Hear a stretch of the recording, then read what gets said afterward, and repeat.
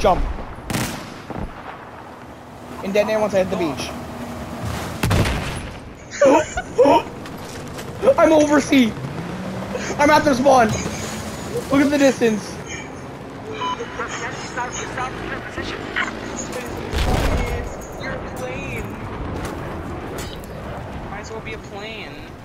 I'm saving the last 30 seconds of that.